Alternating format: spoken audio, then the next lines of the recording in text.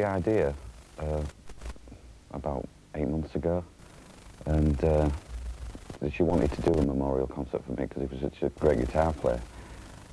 And she rang me up and said, would we like to do it as the Spiders?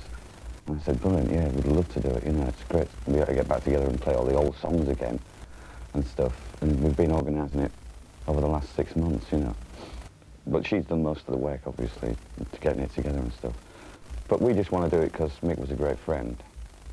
And we played with him before we made it, with Bowie and stuff. And he was a big influence on our lives, sort of thing, you know, so we want to show our appreciation of it.